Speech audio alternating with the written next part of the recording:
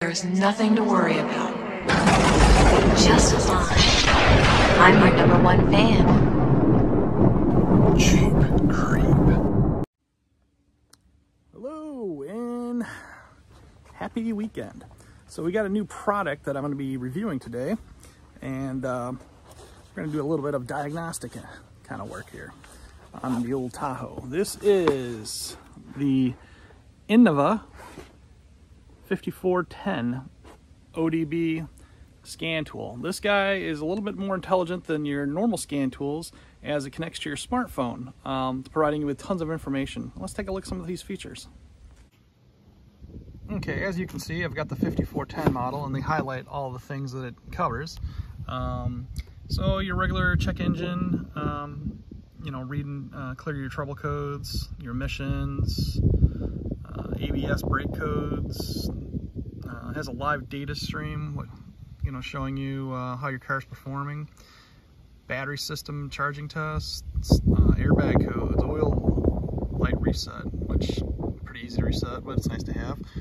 Um, all system network scan and battery, BMS battery reset and initialization. Now, if you get some of the fancier models like the 5510 or the 5610, you're also getting uh, other features such as um, EPB ABS brake bleeding caliper service, uh, your TPMS tire pressure system, uh, your transmission temps, your enhanced data stream for like your anti-lock brakes and your um, AT and SRS, whatever the heck that is, bidirectional system test, active test. Um, so that's kind of cool. Some of the repair solutions, this is the app side. Uh, the one I have has fix solutions with instructional videos, so it actually shows you how to fix it, which is pretty cool. Directly purchase and repair and maintain maintenance parts. Scheduled maintenance. Now, if you get the bigger models, it has predictive failures. It'll actually tell you, based on like your car mileage and everything, and how your car's performing, what is about to fail. Now, how crazy is that? Um, so you don't have to go into your mechanic anymore. Well, probably still should, but you could be kind of a mechanic yourself and say, oh, well, this is about to go. You might want to change this. So that's pretty neat.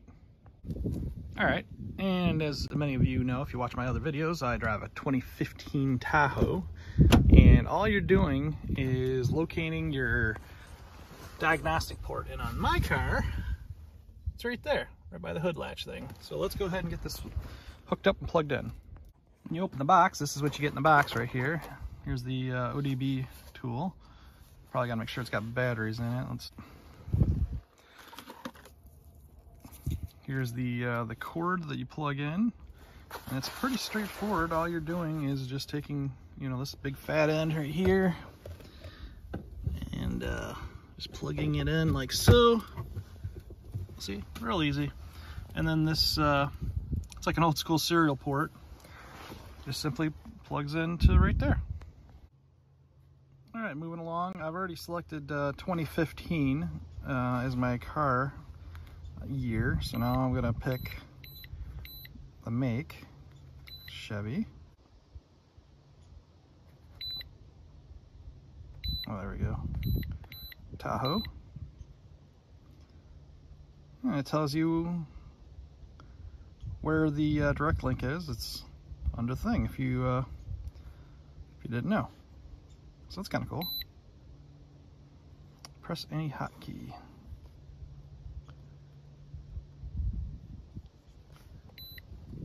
Okay, so that's the locator. That's kind of nice if uh, you totally don't know where to plug this thing in at for your car. Okay, one feature I really like about this, um, so it's off right now. Let's say, and you can see there's no light or anything, right? And uh, I turn it on and it's got a little uh, LED light.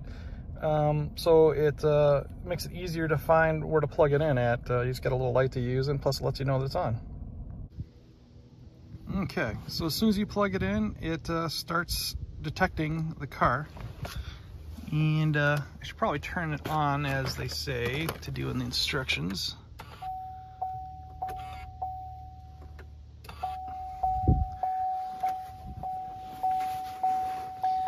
and it should light up.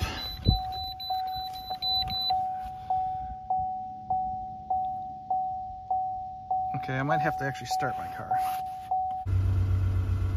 Okay, so I can see it lit up now. Um, I don't know if it was working with the engine uh, not running or not because I didn't notice that light. It said some cars need to be running. So let's go ahead and hit the relink.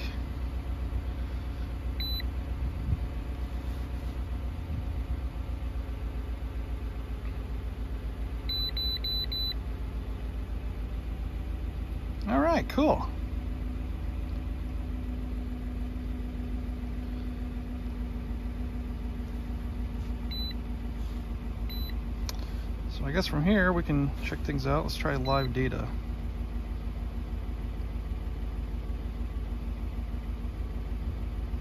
Oh, this is interesting. Okay, um, had to get in the car and get the heat going because I am freezing. It's cold out today. So this is the live data. So we got fuel system 1 OL.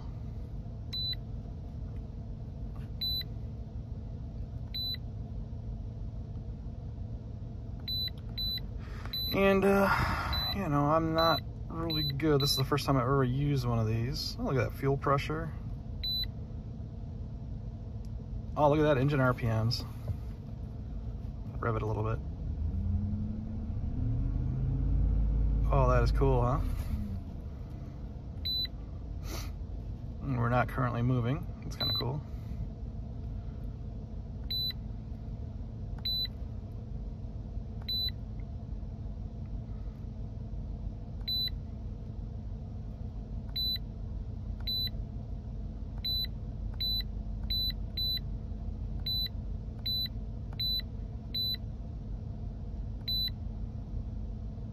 Actually shows how long it's been running for. That's cool.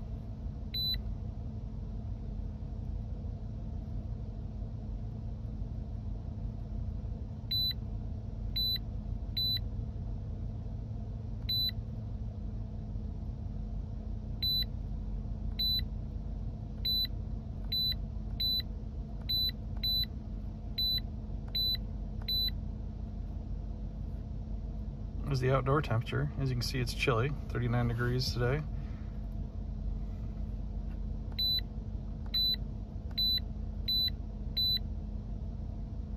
Gasoline car.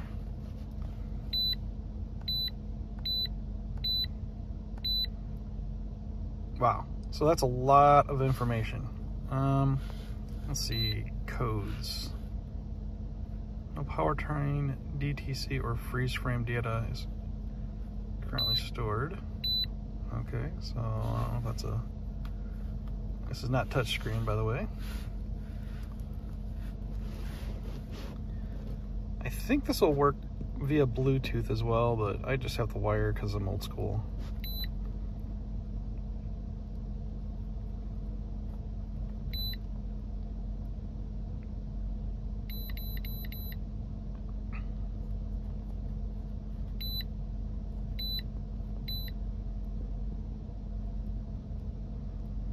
Here's all my specs. Is this your vehicle? Yes.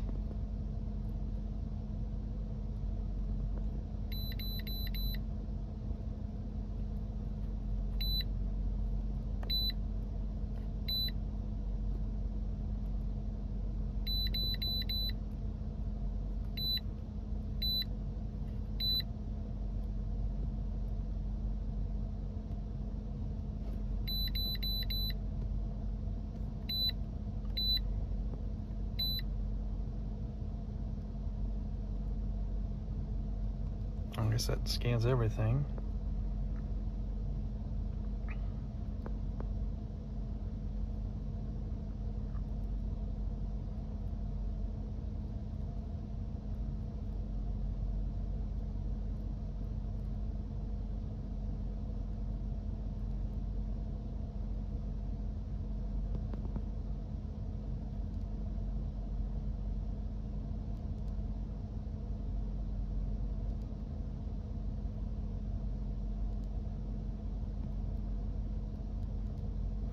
So I will say that there's a couple things um, code-wise. Um, this has the uh, this Tahoe has the auto leveling suspension on the front end, and uh, to change those shocks that failed uh, was like way over a thousand dollars, and I was just mad. I said nope. So I uh, had the garage put on normal suspension, and then they sell these bypass modules or like dummy modules to, so you don't get an air code. I haven't installed those yet, so it just keeps telling me my suspension's uh, broke or service it. And this thing also needs an oil change, so we could try to find those two codes in here. Um, again, I don't know how to use one of these at all. This is the first time I've ever used one, so kind of bear with me here.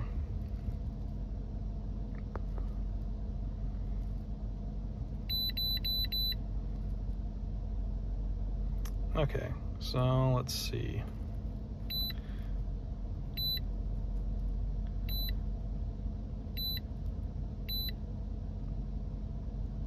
So suspension control module. See that right there? That's part of my suspension. So I, I have a uh, an open circuit because uh, it's not plugged in anything. So my right front and my left front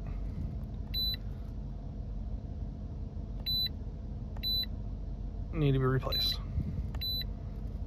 You know, uh, got it. Let's see. I wish there was like a back button. Because this looks like back, but this is enter. Press any hotkey. Well, nothing tells me what a hotkey is. Maybe menu to go back?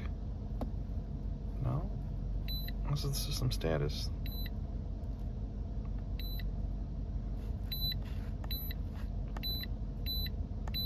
Okay, so that makes sense. I guess DTCs, um, I have to look at the manual, what that stands for. That's probably like um, things that were detected.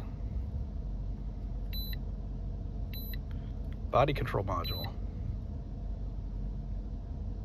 Oh, that's so cool.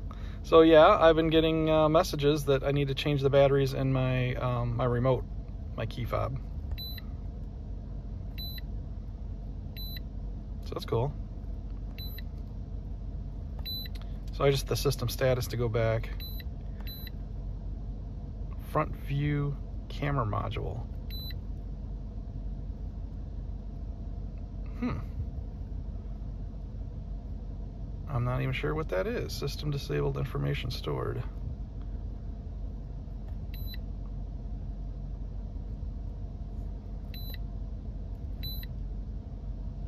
Human machine interface control module. What the heck is that?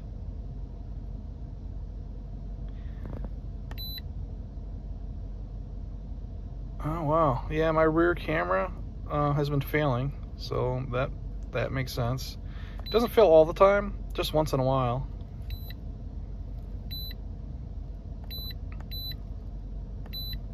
All right, so that's everything there.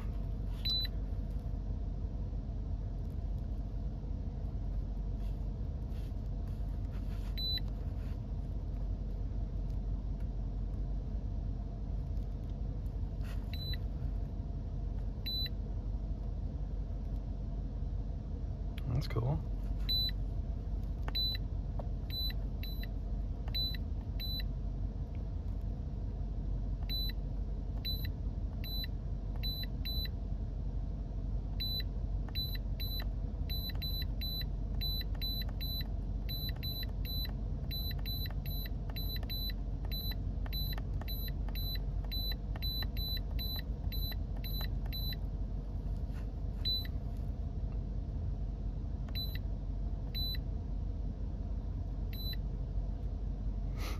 This is not a hybrid or EV battery, so it tells you it's not there.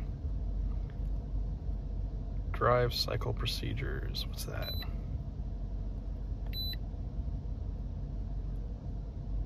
Oh, that's fire monitor, fuel system monitor, action sensor. So, it, okay, so I did read something. If they're green, they're good. If they're orange, they're going. If they're red, they're dead something like that.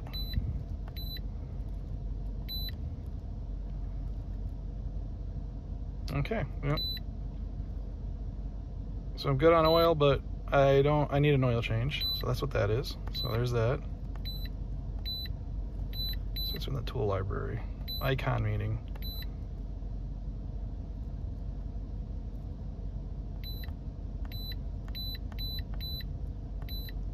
So it explains all of your uh, sensors.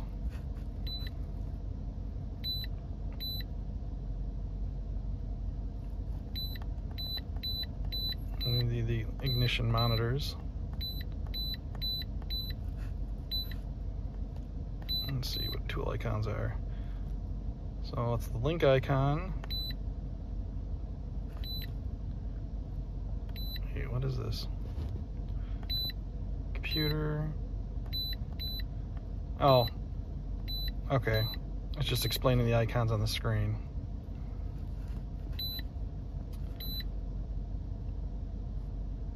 Uh, what was the LED? Oh, here's the thing that I was telling you about. So if it's green, everything's running normal. If it's yellow, possible problem.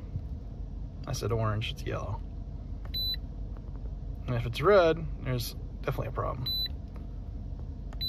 So, kind of nice that it explains that.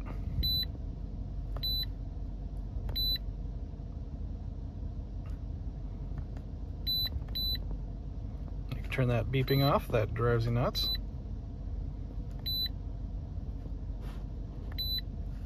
Not sure what footer messages are, but I like it.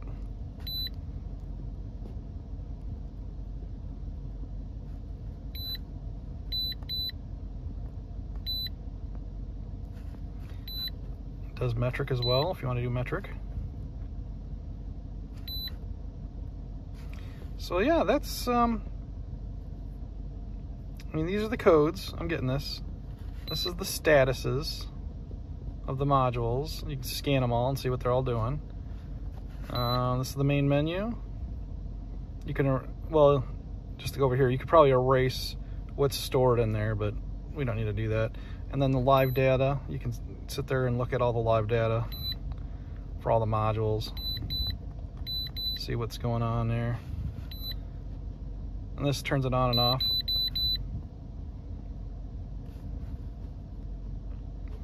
Or it links to the module, I guess. Let's see here.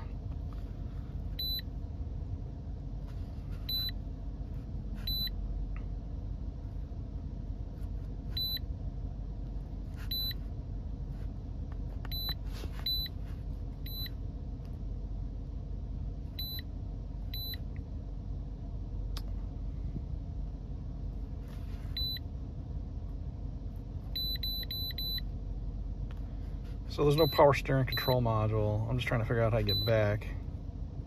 Oh, there we go. Um, let's see if this exists. Okay. So DTCs. Let's look that up. Okay, since I'm such a noob, I just did a good quick Google search. Uh, DTCs are diagnostic trouble codes. That's what that stands for. So when you see zero, that means there is no codes. But when you see four, that means there's four codes. And you know, this is like the suspension ones that I was telling you about. You could hit live link on it. I think it just refreshes it. Or you could just look at the, the saved codes because I think this thing just saves the codes in there. Let's see. So let's say if I went in, see if I didn't illustrate the erase button. Okay.